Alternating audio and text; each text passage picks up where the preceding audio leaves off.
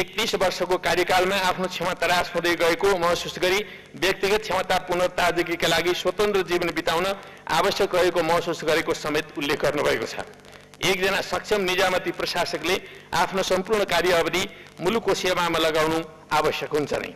तर उहाँको राजीनामा पछि सञ्चार माध्यममा मूल्य अभिवृद्धि कर छली युनिटी प्रकरण कर्मचारी सरुवा क्यासिनो राजस्व प्रकरण आदिमा सरकारले अन्यथा गर्न खोजेको हुँदा राजीनामा दिएको भने जसरी उछालिएको छ त्यो स्वयं अर्थ सचिवको भनाइ र तथ्य अनुरूप छ भन्ने मलाई लाग्दैन।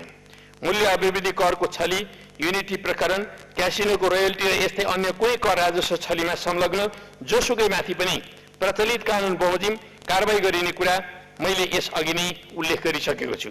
त्यस्ता कुरामा कसैलाई कुनै छुट दिने नीति सरकारले न लिएको छ न लिने नै छ। यस कुरामा आश्वस्त हुन पनि म सबैलाई हार्दिक आग्रह गर्न चाहन्छु। सभा महोदय स्थायी सरकार मानिने कर्मचारी प्रशासन र बहुदलीय शासन व्यवस्था अन्तर्गत निर्वाचनबाट आउने मन्त्रीहरू बीच कहिलेकाहीँ कतिपय विषयहरूमा मतभेद देखा पर्न सक्छन्। यस्तो हुने कुरालाई एकदमै अस्वाभाविक मानिँदैन। तर यस्ता मतभेदहरूको समाधानका विधिसम्मत उपायहरू छन्। विगतमा पनि यस्ता कयौँ घटना हामीले देखे भोगेका हौँ। यसपटक त विभागीय मन्त्रीको हैसियतमा स्वयं अर्थमन्त्रीले सचिवसँग आफ्नो कुनै गम्भीर मतभेद नरहेको तथ्य पटक पटक प्रस्ट्याउनु भएको छ र राजीनामा दिनुभएका अर्थ सचिवले पनि मिल्दोजुल्दो अभिव्यक्ति नै सार्वजनिक गर्नुभएको मैले पाएको छु।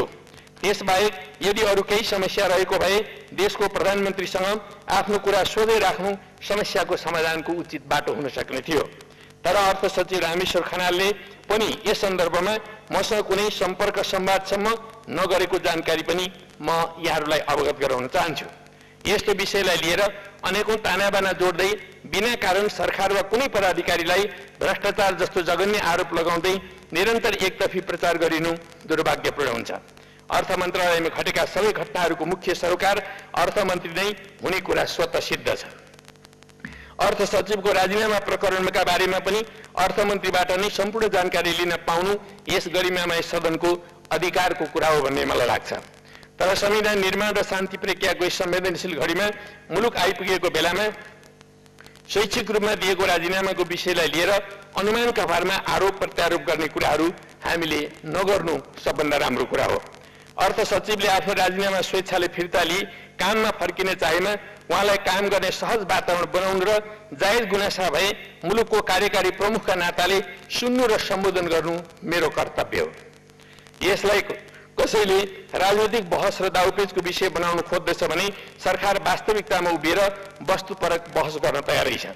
म त्यस ढङ्गले बहस छलफल गर्न सबैलाई हार्दिक आग्रह पनि गर्न चाहन्छु।